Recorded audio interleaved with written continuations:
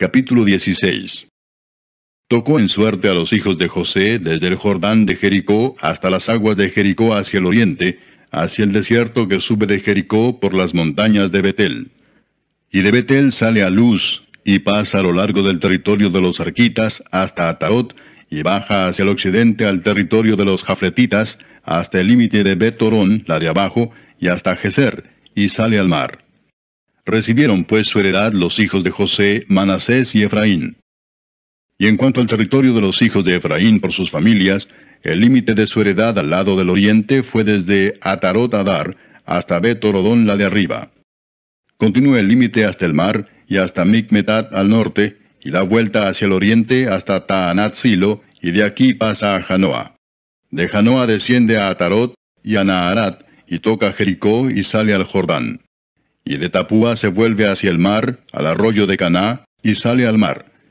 Esta es la heredad de la tribu de los hijos de Efraín por sus familias.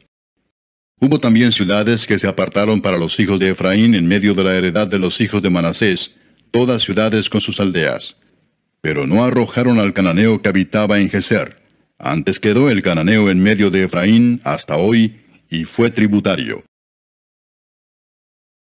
Capítulo 17 se echaron también suertes para la tribu de Manasés, porque fue primogénito de José. Maquir, primogénito de Manasés y padre de Galaad, el cual fue hombre de guerra, tuvo Galaad y Basán. Se echaron también suertes para los otros hijos de Manasés conforme a sus familias, los hijos de Abieser, los hijos de Elec, los hijos de Asriel, los hijos de Siquem, los hijos de Efer y los hijos de Semía, estos fueron los hijos varones de Manasés, hijo de José, por sus familias. Pero Zelofead, hijo de Efer, hijo de Galaad, hijo de Maquir, hijo de Manasés, no tuvo hijos, sino hijas, los nombres de las cuales son estos, Maala, Noa, Ogla, Milca y Tirsa. Estas vinieron delante del sacerdote Eleazar y de Josué, hijo de Nun, y de los príncipes, y dijeron, Jehová mandó a Moisés que nos diese heredad entre nuestros hermanos y él les dio heredad entre los hermanos del padre de ellas, conforme al dicho de Jehová. Y le tocaron a Manasés diez partes además de la tierra de Galaad y de Basán, que está al otro lado del Jordán, porque las hijas de Manasés tuvieron heredad entre sus hijos, y la tierra de Galaad fue de los otros hijos de Manasés.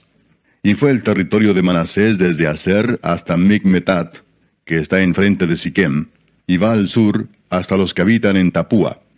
La tierra de Tapúa fue de Manasés, pero Tapúa misma, que está junto al límite de Manasés, es de los hijos de Efraín. Desciende este límite al arroyo de Caná, hacia el sur del arroyo.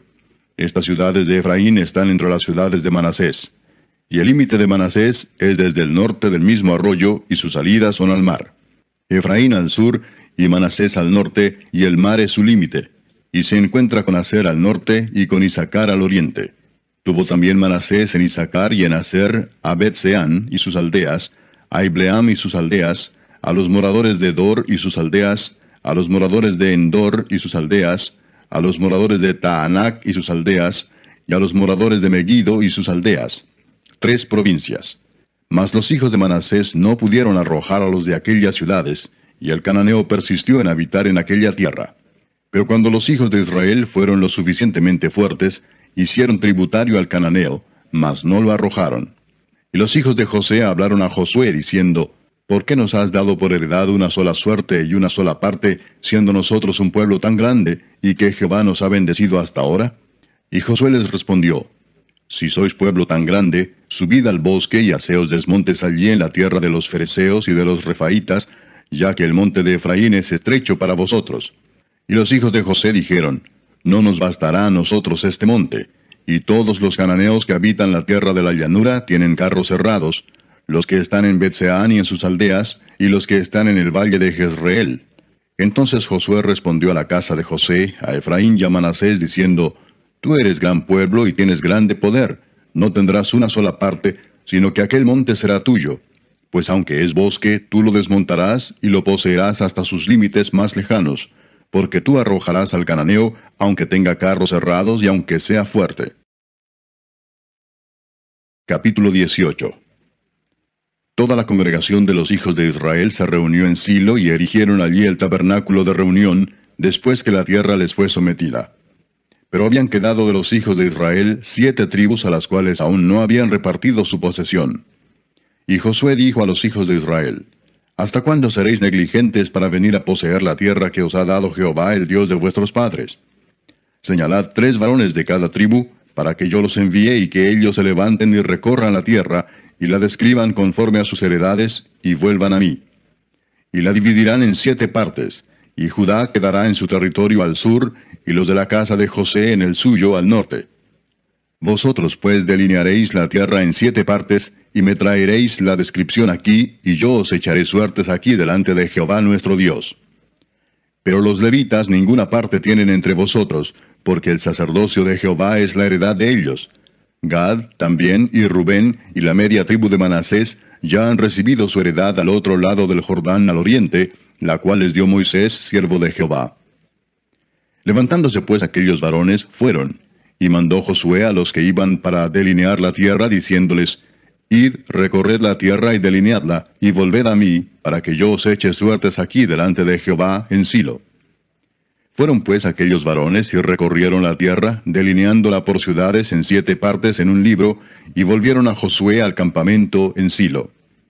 Y Josué les echó suertes delante de Jehová en Silo, y allí repartió Josué la tierra a los hijos de Israel por sus porciones. Y se sacó la suerte de la tribu de los hijos de Benjamín conforme a sus familias, y el territorio adjudicado a ella quedó entre los hijos de Judá y los hijos de José. Fue el límite de ellos al lado del norte desde el Jordán, y sube hacia el lado de Jericó al norte. Sube después al monte hacia el occidente, y viene a salir al desierto de Betavén. De allí pasa en dirección de Luz, al lado sur de Luz, que es Betel, y desciende de Atarot Adar al monte que está al sur de Betorón, la de abajo. Y tuerce hacia el oeste por el lado sur del monte que está delante de Betorón al sur, y viene a salir a Kiriat Baal, que es Kiriat Jearim, ciudad de los hijos de Judá. Este es el lado del occidente. El lado del sur es desde el extremo de Kiriat Jearim y sale al occidente, a la fuente de las aguas de Neftoa, y desciende este límite al extremo del monte que está delante del valle del hijo de Inom, que está al norte en el valle de Refaim. Desciende luego al valle de Inom, al lado sur del Jebuseo, y de allí desciende a la fuente de Rogel. Luego se inclina hacia el norte y sale a Ensemes, y de allí a Gelilot, que está delante de la subida de Adumín, y desciende a la piedra de Boán, hijo de Rubén, y pasa al lado que está enfrente del Arabá, y desciende al Arabá. Y pasa el límite al lado norte de Betogla, y termina en la bahía norte del mar Salado, a la extremidad sur del Jordán. Este es el límite sur. Y el Jordán era el límite al lado del oriente. Esta es la heredad de los hijos de Benjamín por sus límites alrededor conforme a sus familias. Las ciudades de la tribu de los hijos de Benjamín por sus familias fueron Jericó, Betogla, el valle de Casis, Betarabá, Semaraim, Betel, Avim, Pará, Ofra, Kefar Aamoni, Ofni y Jeba, doce ciudades con sus aldeas.